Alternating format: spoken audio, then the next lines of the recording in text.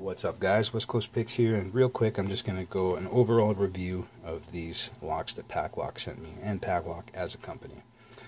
Uh, the only thing I didn't like about these was the crimped core on these two locks, and guys, I'm just going to reiterate this, that has nothing to do with the security of the lock at all, or the functionality, or any of that.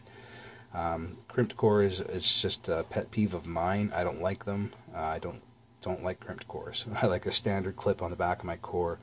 I don't like having to break it to, to take it apart. But if you're just using a lock, I mean, if you're buying a lock and you're putting it on something and using it, these are awesome. They're better than Americans.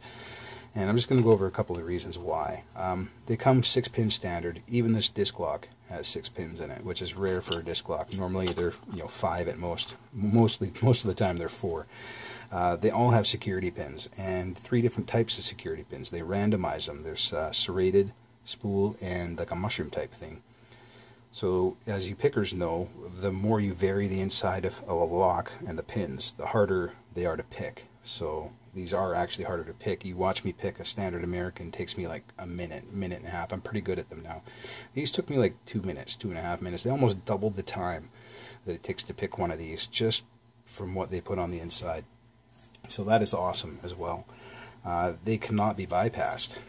I've tried running a bypass driver down there, and I've since learned that because the way they designed the core, uh, you can't, there is no actual spot for you to put the bypass driver to actually actuate it. So you can't, you know, you can't reach the cam with one of these tools, so you can't bypass it. Uh, you don't need a wafer.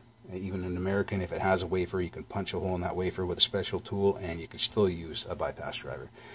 These ones you can't uh, you can't bump them. So playing with these, I've been trying to bump them, and uh, you know you got to try, even though the advertisement says you can't. And uh, one thing I noticed, I don't know if this is intentional or not, but you see the key slides in and out normal, normal like two finger, you know, pretty easy, pull it in and out. But if you try bumping it, pull it out one click, give it a bump, and now try pulling it out. Jeez, it takes quite a bit more I mean, like really, really, really hard to get out after you've tried bumping it. I don't know if that's intentional or not, guys, but that actually stops you from putting a spring or a grommet there and just, you know, machine gun bumping it like you've seen other people do. You can't do it with this, even though it's got a bump stop in it. If it was to work, you can't machine gun it. So that is awesome, too. Um, a little bit more about this disc lock. I didn't realize till after, but they actually weld the inseam there, too, which is not very common.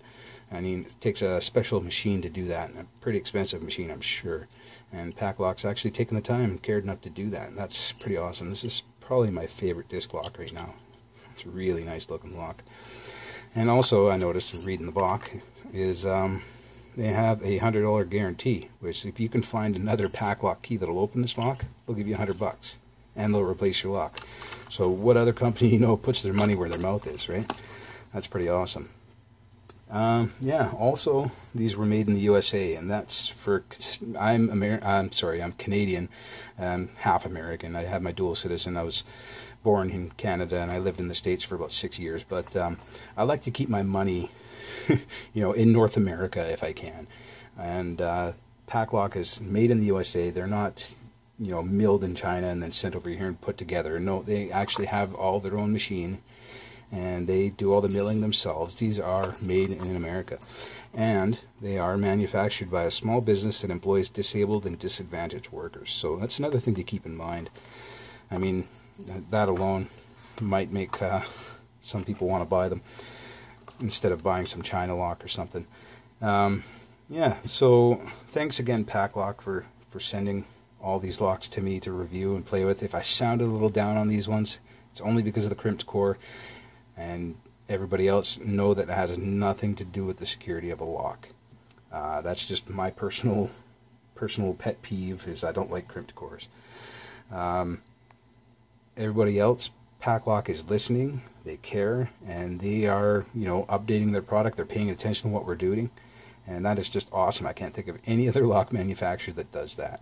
So kudos to Paclock, and uh, thanks again, Paclock, for sending all this to me to play with. It's been a lot of fun.